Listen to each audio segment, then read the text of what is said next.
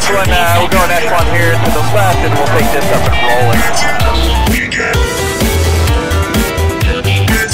up and roll it.